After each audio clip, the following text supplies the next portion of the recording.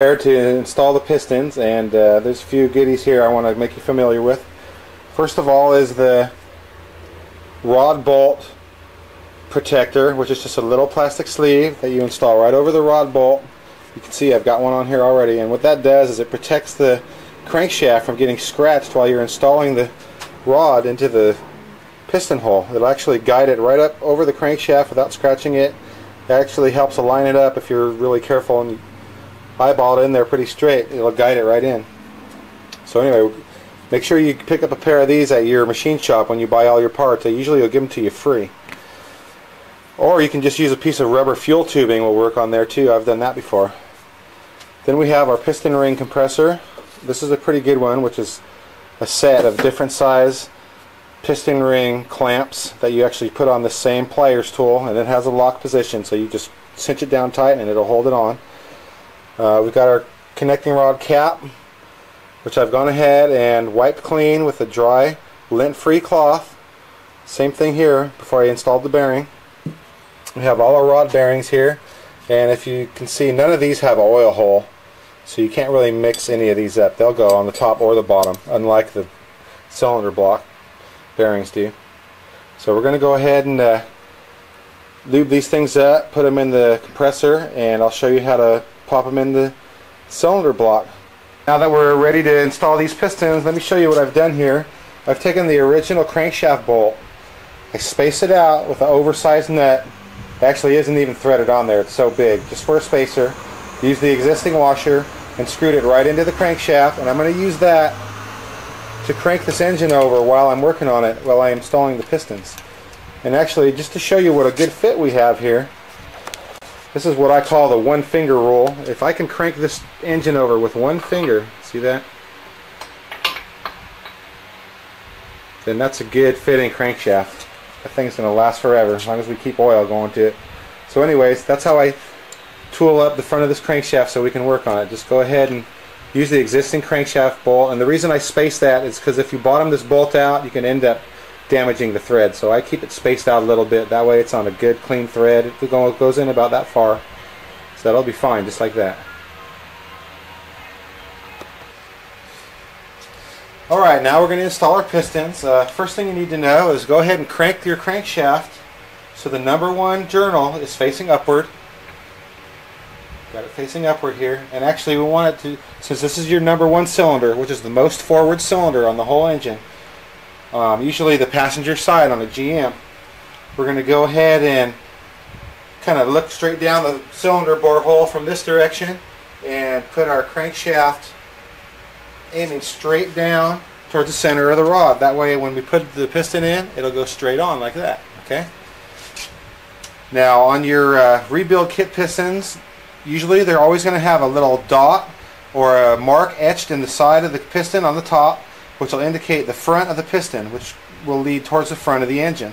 These particular pistons are racing pistons, and they don't have the mark marked on them, but I know how to put these in, so we're going to be fine.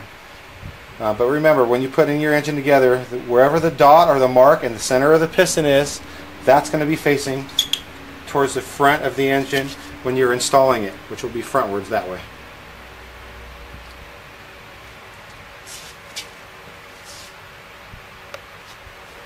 Alright, so what we're going to do first here is we're going to take our assembly lube, and I just like to squirt a little bit in the cylinder wall. Just go right around the whole thing. Wet it. Like I said, you usually don't have to goop it all up. Just a little bit of work on there, a couple thousandths worth. And I like to just put some on the piston.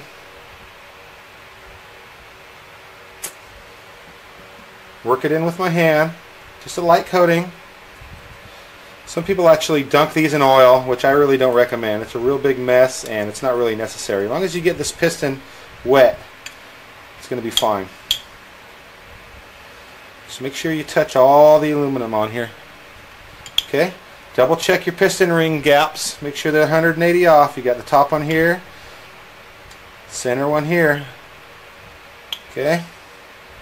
Next we're going to take our piston ring compressor tool and install that on the piston.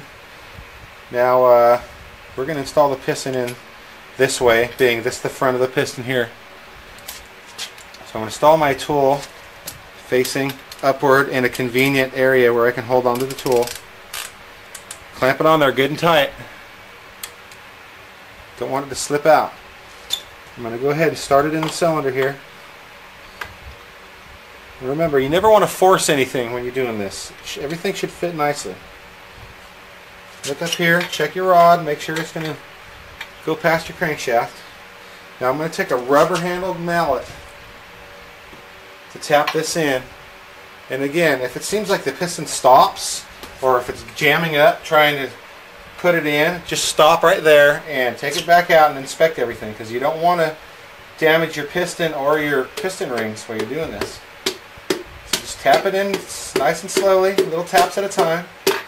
Went right in, no problem.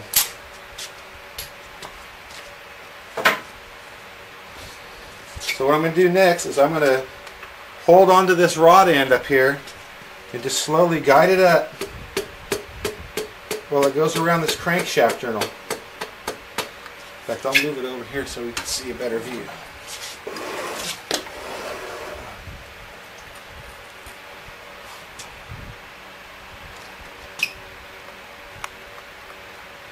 And what I'm going to do here is I'm going to guide this with my fingers, looking straight down it. There, that's the view we want right there. See, we're looking straight down the crankshaft. As you can see, it's a little bit cockeyed. So what I'm all I have to do is hold on to it. You don't have to muscle it. Just barely turn it with your fingers as you're tapping, and it'll move. Try to get it on there as straight as you possibly can.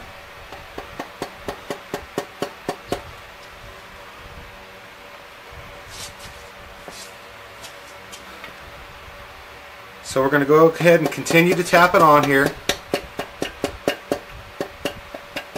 And all the while guiding it so it doesn't bind up on anything. And there we go. Attach the crankshaft.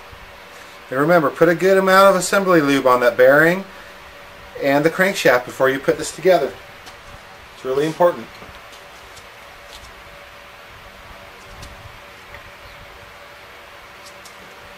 Next we're going to take our rod cap and remember, as you can see, see the little keeper lock tab there and the same here?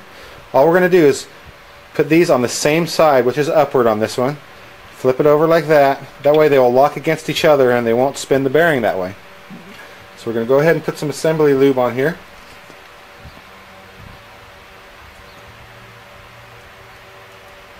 Put the bearing cap on.